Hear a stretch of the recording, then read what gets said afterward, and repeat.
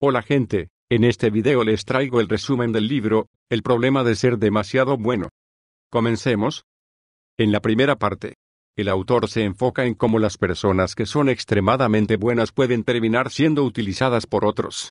Explica que la verdadera bondad implica hacer el bien sin buscar la aprobación o complacencia de los demás. Además, el autor reflexiona sobre su propia experiencia como niño bueno y cómo eso le llevó a sufrir. A través de su práctica clínica, observó patrones comunes en pacientes que eran demasiado buenos, lo que le permitió identificar la estructura psicológica de lo que él denomina buenismo y cómo esto puede llevar a un sufrimiento innecesario. En la segunda parte, el autor profundiza en las consecuencias de la mala bondad. Esta se caracteriza por una serie de comportamientos basados en la obediencia y el deseo de portarse bien, motivados por el temor a la desaprobación de los demás. El autor proporciona un análisis detallado de cómo esta mala bondad se origina y las repercusiones que tiene en la vida de las personas. El autor describe cuatro pilares fundamentales que sostienen la mala bondad.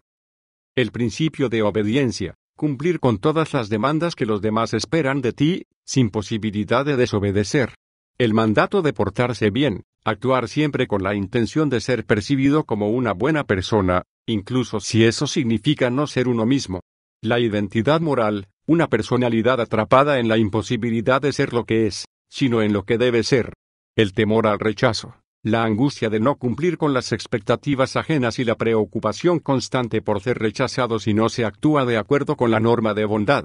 El autor argumenta que estas características pueden llevar a una vida de sufrimiento y limitaciones, y ofrece caminos para comenzar a cambiar y liberarse de la trampa de la mala bondad. En la tercera parte, el autor se centra en las estrategias para superar la mala bondad. El autor ofrece consejos prácticos y ejercicios para ayudar a las personas a establecer límites saludables y a desarrollar una bondad equilibrada que no comprometa su bienestar personal. El autor enfatiza la importancia de reconocer y aceptar las propias necesidades y deseos, así como la capacidad de decir no cuando sea necesario.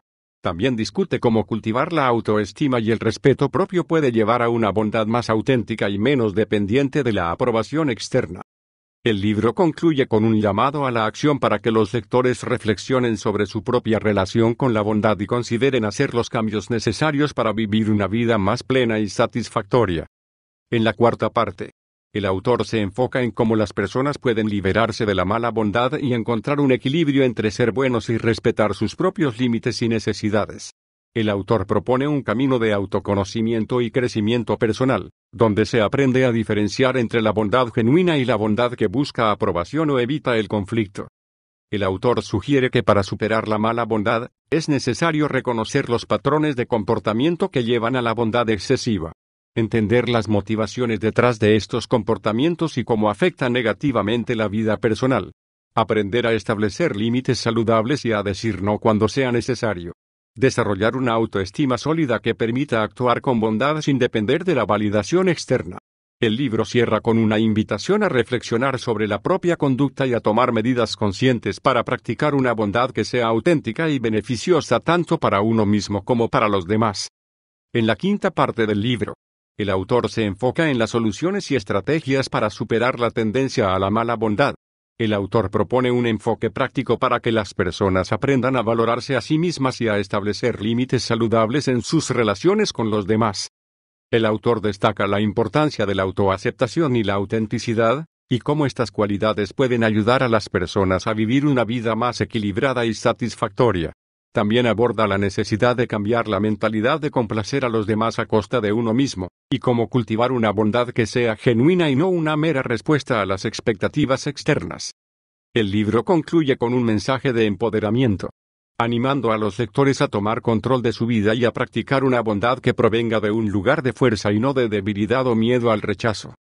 En la sexta y última parte del libro, el autor se centra en la integración de los conceptos previamente discutidos y cómo aplicarlos en la vida cotidiana para lograr un cambio positivo. El autor resalta la importancia de la autoconciencia y la autenticidad, y proporciona herramientas prácticas para que los lectores puedan evaluar y ajustar su comportamiento. El autor anima a los lectores a reflexionar sobre sus propias experiencias y reconocer dónde la mala bondad ha afectado sus vidas desarrollar una comprensión más profunda de sus motivaciones y cómo éstas influyen en sus acciones. Implementar cambios conscientes en su comportamiento para fomentar relaciones más saludables y satisfactorias. El libro concluye con un mensaje de esperanza y empoderamiento, alentando a los lectores a abrazar una bondad que sea verdadera y beneficiosa para ellos y para quienes los rodean. En conclusión, este libro nos enseña sobre las complicaciones psicológicas de ser excesivamente bondadoso y cómo esto puede llevar a que las personas sean utilizadas por otros. El autor destaca la diferencia entre actuar con una bondad verdadera y actuar solo para quedar bien, lo cual no es genuinamente bondadoso ya que empieza por no hacerse bien a uno mismo. Invita a reflexionar sobre la propia conducta y a practicar una bondad que sea auténtica y beneficiosa tanto para uno mismo como para los demás, liberándose de la necesidad de complacer constantemente a otros a costa de uno mismo. Si te gustó el resumen, suscríbete y comenta qué libro te gustaría que resumiera. Si quieres comprar algunos de los libros resumidos en el canal, podés encontrar un apartado en mi Linktree que se encuentra en la descripción, en el cual están los enlaces a cada libro. Haciendo tu compra desde allí puedes ayudar al canal a seguir trayendo contenido. Nos vemos en el próximo video. Un saludo.